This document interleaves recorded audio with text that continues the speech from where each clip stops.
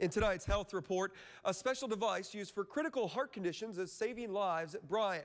It's called an Impella. It's a device put inside the body through the aorta to help the heart pump blood when it's too weak.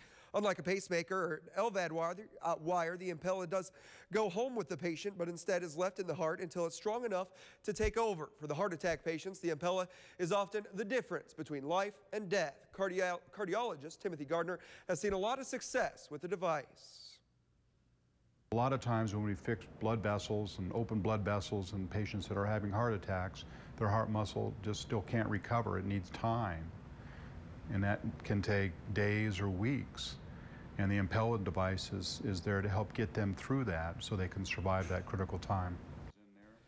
Now, the Impella device can be used anywhere for a few hours to up to two weeks. Dr. Gardner says it gives patients the precious time needed for their hearts to regain strength.